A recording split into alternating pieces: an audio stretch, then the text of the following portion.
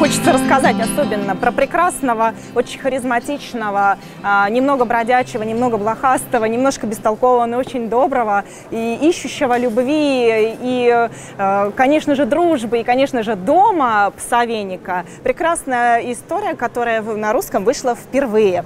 Поэтому мы рады вам ее показать, представить и предложить всем читателям, начиная где-нибудь так с 6-7 лет. Это раз. Дальше. А, прекрасный, очень большой, но не пугайтесь этого объема. А, он очень воздушный, очень красивый. А, детективно-приключенческий такой том под названием «Где-то там гипопотам». Это история таинственная про музей, в котором собраны большое, просто огромное количество разных э, экспонатов э, э, разных исторических времен, включая всяких разных чучел животных и так далее. А самое главное то, что эти экспонаты оживают, не просто оживают, они разговаривают и очень пекутся о жизни своего дома дома. Именно так они называют этот музей.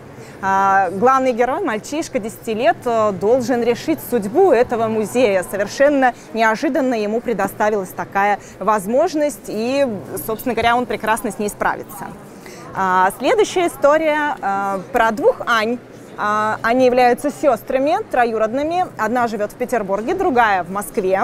А, они гостят друг у друга и рассказывают нам очень э, свободно, очень приключенчески весело и прикольно историю Петербурга и Москвы с поребриками и бордюрами, подъездами и парадными и совсем э, к этому дополняющим. А, дальше. Еще одна новинка «Ангел с чертова острова» про девятилетнюю девочку Астрид Борос, которая э, имеет очень крутой, очень классный характер, которая э, решается на отважный очень шаг на воссоединение своей сестры, о, семьи, на воссоединение своей семье. Это на самом деле очень серьезно. Не каждый ребенок пойдет на такое. А, это наша любимая тема. Тема, которая про которую, как не любят многие читать, тема неполной семьи или тема разводов. У девочки разводятся родители, ну ладно, это полбеды. Но ее родители нашли свои вторые половины, что не очень-то впечатлило Астрид. И тогда она решила э, продумать и придумать э, такой коварный план.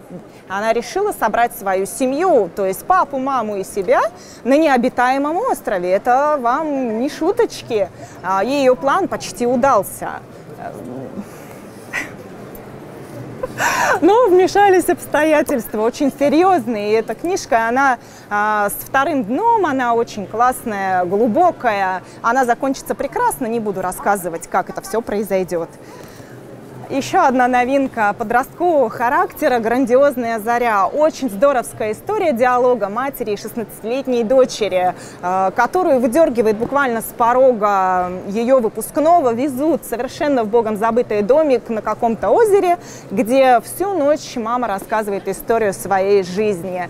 Потрясающий, кто любит диалоги, кто любит э, сюжет, держащий нас э, от начала до конца, без экшена, но тем не менее очень сильно рекомендуем.